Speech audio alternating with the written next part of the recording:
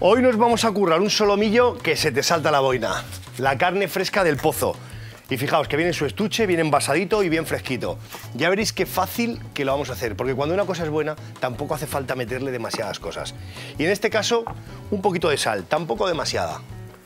Un poquito de pimienta, para que le dé un poquito de tonito. Pensar que un solomillo que esté fresco, como estos del pozo, van a tener sabor, van a estar jugositos. Le ponemos, fijaos, un poquito de tortilla para que le dé un poquito de textura. Le vamos a colocar unas aceitunas y lo que os decía, y muy importante, que le va a dar el punto de sal, un punto de sabor también importante, es el jamón. Y en concreto tenemos este jamón aquí del pozo, que está que te mueres. Además, ya el nombre ya te induce a cosas, ¿eh? Jamón selección.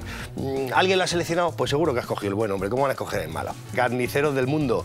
Tenemos carne fresca del pozo todos los días en el mercado, pues lo podemos comprar perfectamente. Yo creo que me voy a quedar aquí atando esta carne para que no se me suelte nada. La adoro, le pongo unas verduritas y nos vamos a currar una salsa y vamos a hacer la carne en cero coma. Esperadme que lo ato. Pues sí, señor, fíjate que solomillito, rellenito, dorado, perfecto. Lo voy a poner sobre la verdura que ya habíamos hecho anteriormente, un chorrito de agua. Ahí.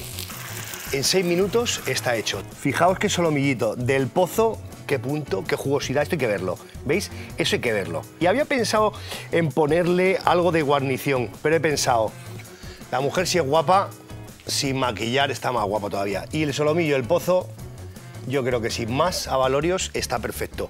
Un poquito de salsa y conseguimos un plato, pues eso, un solomillo el pozo, la mar de apañado. Fíjate que solomillito fresco del pozo, rellenito. Ponle peguitas a mi amigo.